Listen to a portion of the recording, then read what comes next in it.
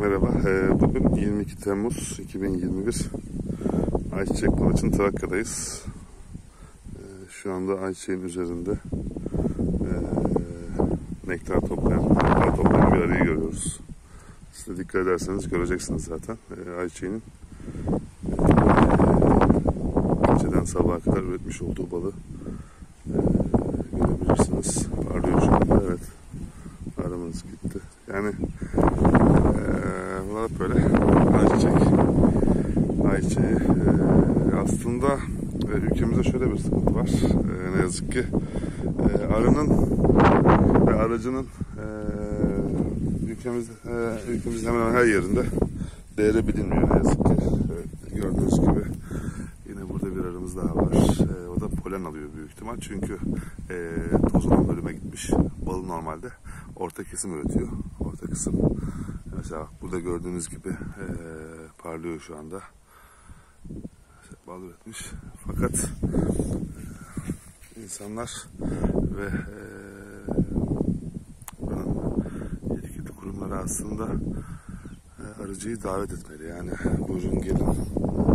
Aslında aracının arının e, hiçbir zararı yok. Yani bizim zaten burada maksimum 20 günlük gibi bir süremiz var.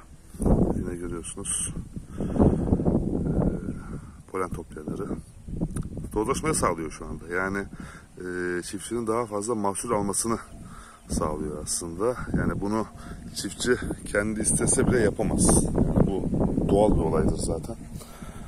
Ama ne yazık ki e, ülkemizde arıcıya karşı böyle bir önyargı var. E, mesela rüzgardan yorulmuş arıları görüyorsunuz. Çünkü bugün biraz e, rüzgarlı hava. Arılar rüzgarlı havayı sevmez. Yazık ki e, burada da aynı. Yani ben buradan e, ayçiçeği üreticilerine, kanola üreticilerine, yani tüm çiftçilere yani sebze meyve üreticilerine hepsine sesleniyorum. Arıcılar, arıcıları davet edin. Arıcının hiçbir zararı olmaz, aksine faydası olur. İnsanların gözü e, arıcının kazandığı parada, yani aldığı balda. Ama zahmetine e, o balın nasıl elde edildiğini hiç kimse bilmiyor. Ne yazık ki. Ee, ne yapıyorsunuz ki? Yani arıyı koyuyorsunuz arı bal yapıyor. Evet arı bal yapıyor ama arının oraya nasıl geldiğini e, oraya kadar nasıl e, beslendiğini kimse bilmiyor. Ee, olsun. Ama Allah'a çok şükür. Biraz rüzgar var ama e, arılarımız gayet e, memnunlar ayçiçeğinden İnşallah çiftçilerimiz de insanlarımıza memnun olmuştur. Kimse zararımız olmamıştır olacağını düşünmüyorum faydamız olmuştur e, arılara sahip çıkalım e, arılar doğanın en yararlı canlılarıdır. Lütfen onlara sahip çıkalım. Burada size bir şey de göstereceğim. Ee, bak bildiğiniz e, bal akmış yani. E, ürettiği bal. Ayşe'nin ürettiği bal. Gördüğünüz gibi arada yine polen topluyor. Polen toplayanlar. Evet. Allah çok şükür. Görüşmek üzere. Kendinize iyi bakın. Tüm üreticilere